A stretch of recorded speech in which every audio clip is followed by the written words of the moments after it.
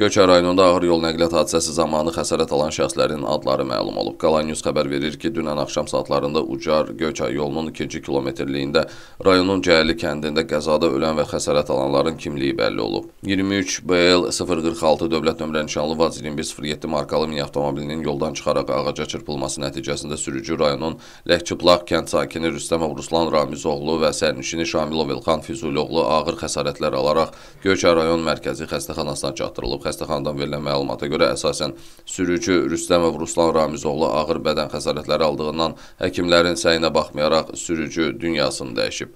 Faktla bağlı araşdırma aparılır.